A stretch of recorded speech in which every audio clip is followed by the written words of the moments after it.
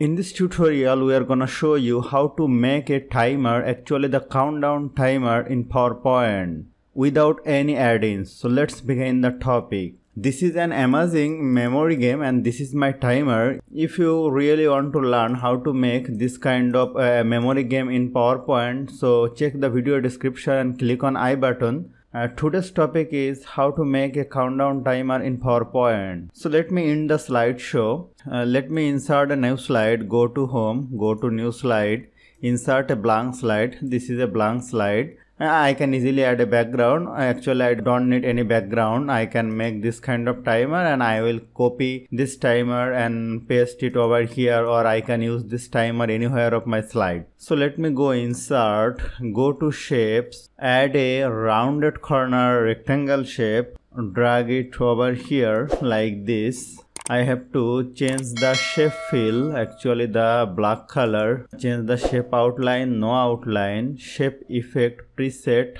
uh, this preset. And go to shape effect shadow uh, this shadow. This is looks like a, a digital timer. And then I have to write the digit here.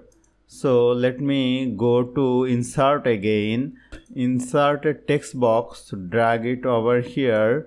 And write 0 and change the font color to red color write 0 0 0 5 so i have to change the font like the digital clock font. So where i can find the font easily? Simply i have to go to google then i have to search by writing digital clock font and click on search and i have to go this website then i have to download this font I have already downloaded this font. Here is the DS digital font.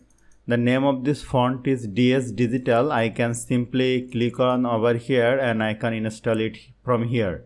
Then I have to change this font. Click on Ctrl A, go to font DS digital. This is my digital clock font and I have to increase the font size place it like this. Actually the center of the shape. This is perfect. Then I have to select this shape and the background shape and press ctrl G to group them together. You can easily change the shape outline according to your choice. Uh, this kind of outline looks very good. Then I click on this shape go to animation go to add animation click on disappear. Then change the duration to 1 second click Ctrl D to duplicate place it over here and start after previous and write 4 then press Ctrl D to duplicate and place it here change 3 and go to start after previous then press Ctrl D to duplicate place it here change it to 2 and press ctrl D to duplicate.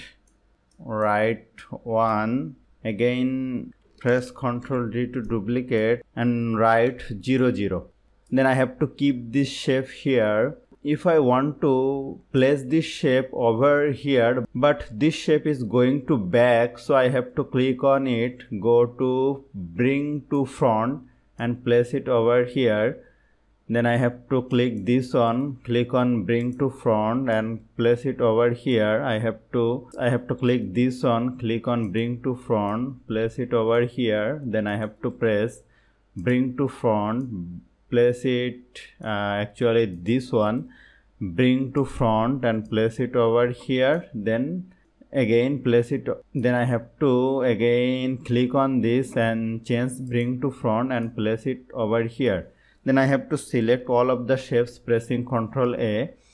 Go to shape format go to align align center align middle. Then this is okay. If I want to watch the slideshow what will actually happen? Uh, click on space.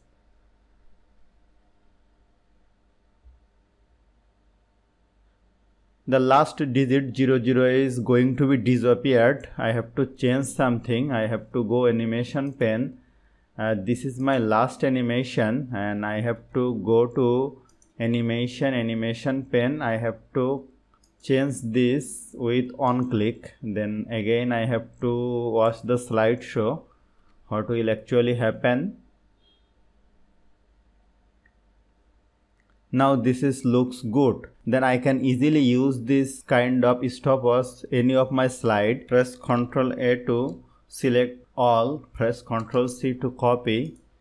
Go to this slide click on right button place it like this. If I want to watch the slideshow then this is my quiz and this is my timer. Hope the video is helpful to you. If you like this video please share this video with your friend and family and don't forget to like and subscribe